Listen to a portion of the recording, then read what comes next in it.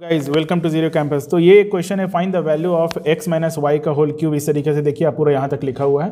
तो इसको आप अगर पूरा पूरा करने जाओगे तो कम से कम तीन से चार मिनट लगेगा और मैं आपको एक ऐसा शॉर्टकट बताने जा रहा हूँ, जिसमें ये एक मिनट के भी अंदर अंदर हो जाएगा। तो आप मान लो एक्स माइनस वाई को ए वाई माइनस जेड को बी और जेड माइनस एक्स को सी तो अभी आप यहाँ पे एक रफ में देखो, मैं क्या कर रहा हूँ कि एक्स माइनस वाई को वाई माइनस जेड के साथ और z plus Z minus X के साथ अगर जोड़ता हूँ तो क्या आएगा? पहले इसको चेक किया जाए अलग से तो कुछ नहीं आएगा। मतलब क्या आ रहा है? ये z था। ज़ीरो आ रहा है। इसका मतलब अगर मैं ये क्या लिखा था मैंने? A plus B plus C क्योंकि a plus B B plus C माना था इसको। तो अभी आपको पता है कि अगर a plus B plus C zero आता है तो आपको एक फॉर्मूला याद आ गया होगा कि A cube plus B cube plus C cube is equal to three A B C तो बस यहीं पे पूरा क्वेश्चन खत्म हो गया। सॉल्व करने की ज़रूरत ही नहीं है। ये ए क्यूब है, ये बी क्यूब है, ये सी क्यूब है। मतलब कि थ्री ए बी और यहाँ पे सी लिख दो। सी लिख दो। देखो आपको समझ में आ रहा है यहाँ पे? और ये क्या लिखा हुआ है? एक्स माइनस वाई नीचे में वाई माइनस जेड और जेड माइनस एक्स तो अब इस जेड माइनस एक्स को जेड माइनस एक्स के साथ कट कर दिए। ठीक है? और इस वाई माइनस जेड को वाई माइनस जेड के साथ और इस एक्स माइनस वाई को एक्स माइनस वाई के साथ। कितने आसानी के साथ? आंसर आ गया थ्री तो ये आपका आंसर इसी वीडियो में मैं आपको एक और क्वेश्चन दिखाता हूँ। मैं क्वेश्चन लिख कर आता हूँ वापस।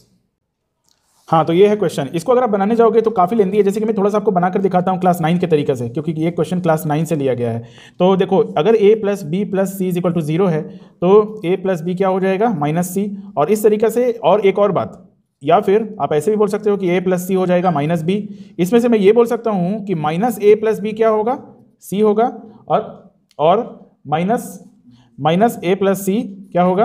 बी होगा। ठीक है? तो अगर आप पहले इससे कुछ हम एक, हम लोग एक नया इक्वेशन करेंगे और इससे कुछ एक न्यू इक्वेशन करेंगे। ठीक है? तो देखते हैं ये वाला नीचे वाला लाना है। ठीक है? जो नीचे में जो है डिनोमिनेटर उसके उसके इक्वल लाना है। तो B square plus C square plus B C अब यहाँ पे आप देखो कि आपने क्या लिया है? सी का वैल्यू सी का वैल्यू यहाँ पुट करेंगे। बी स्क्वायर प्लस सी के बदले में minus A plus B put करेंगे और इसका स्क्वायर कर देंगे। प्लस बी सी सी के बदले में क्या पुट करेंगे? माइनस ए प्लस बी ठीक है? देख पा रहे हो? इसको मैं यहाँ से ऐसे नीचे कंटिन्यू कर रहा हूँ। ठीक है? क्योंकि ये अब नहीं दिख रहा होगा। हाँ अब दिख पा रहा है आपको कि इसको यहाँ से फिर ऐसे कर देंगे ए प्लस बी तो देखो हाँ ठीक है? B square B square mine plus ये माइनस का स्क्वायर प्लस हो गया, है ना? और ए प्लस बी का होल स्क्वायर पूछा जा रहा है आपसे। तो A square plus B square plus two A B और ये दोनों मल्टीप्लाई कर दो। तो क्या, कितना हो जाएगा? माइनस ए बी और माइनस बी स्क्वायर, ठीक है? अब देखो minus B square plus B square से कट गया, और ए स्क्वायर आ गया, A square plus B square, और ये टू ए बी, और ये मिलकर क्या हो गया? प्लस ए बी, ठीक है? तो आपका इस चीज़ का जो वैल्यू है, वो इतना आया, ठीक है? उसी तरीका से सिमिलरली सिमिलरली आप यहाँ पे पुट करोगे क्या? वापस इसको ले लो, जो लाना हमें, ये डिनोमिनेटर जो है, वापस इसको ले लो। तो ये कितना आएगा? देखा जाए, B square plus C square plus B C. अब इसका वैल्यू आप क्या लिखोगे? बी जो हमने लिया है, उसके जगह में लिख दो ए अच्छा ऐसा क्यों कर रहे हैं? ऐसा हम लोग इसलिए कर रहे हैं क्योंकि यहाँ पे जो सारा वैल्यूज़ दे रखा है, वो ए और सी में है तो हमको बी एलिमिनेट करना है। यहाँ पे ए और बी में है तो हमको सी एलिमिनेट करना है। लेकिन देखो, आप जब, अभी इसको मैं कितना टाइम लग रहा है, आप खुद नोट करना। मैं जब इसको बनाऊँगा थर्टी सेकंड्स लगेगा, आसानी से थर्टी से फोर्टी सेकंड्स के अंदर बन जाएगा। अभी जो ऑल्टरनेटिव मेथड में बताऊँगा।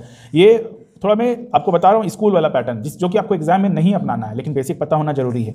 ठीक है तो ए प्लस सी का होल स्क्वायर ब्रैक, माइनस को मत भूलना आप, प्लस सी का डायरेक्ट डायरेक्ट लिख दो, और यहाँ पे जो बी का ये वाला वैल्यू है, वो भी लिखो, माइनस ए प्लस सी का होल स्क्वायर होल स्क्वायर नहीं है ये, बगल में सी लिख दिया मैंने। अभी देखो ये क्या होता है, यहाँ पे लिखता हूँ। तो ये ए प्लस सी का whole square minus minus plus A square plus C square plus two A C two A C plus C square और ये माइनस ए सी और ये माइनस सी स्क्वायर तो plus C square minus C square से cut गया, ये ए square आ गया प्लस सी स्क्वायर आ गया माइनस ए सी आ गया.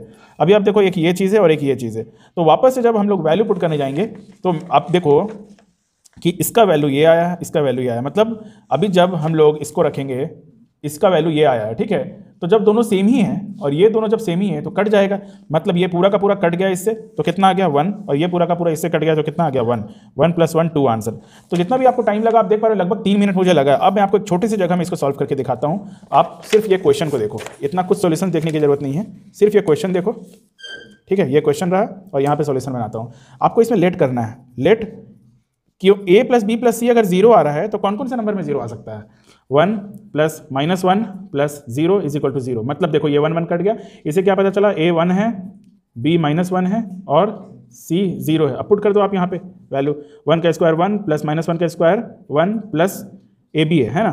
तो ये माइनस वन हो गया। बाई बी स्क्वायर मतलब वन सी स्क्वायर मतलब ज़ीरो और बी सी मतलब माइनस माइनस वन और ज़ीरो। मतलब कितना हो गया? ज़ीरो। उसके बाद सी स्क्वायर देखो, ज़ीरो सी ए कितना? ज़ीरो और A square one. By B square one C square zero और बी सी ज़ीरो। तो नीचे कितना आया? ये ऊपर आ गया, ये इससे कट गया। तो ऊपर आ गया वन बाई वन, इस तरफ़ भी आ गया plus one by one. One by one plus one by one मतलब टू। तो कितना आसानी के साथ ये वाला आंसर आ गया।